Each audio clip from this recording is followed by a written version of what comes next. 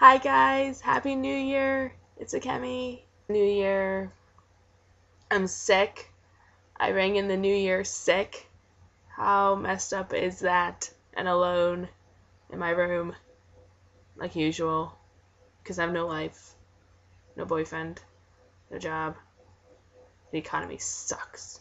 Anyway, I want everybody to have a happy, safe, healthy new year. Um, I've made a few resolutions.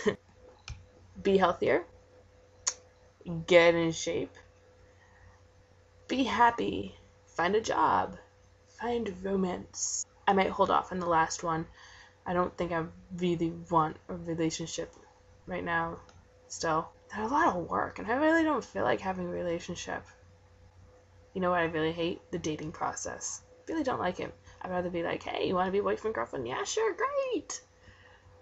New year, new me, new you. It's not gonna be a new me. I'm still gonna be the same. Weird, quirky, goofy, energetic. I just described a dog. Happy, healthy, safe new year. I love you all. Welcome to 2010. I will be 24 this year. Crap.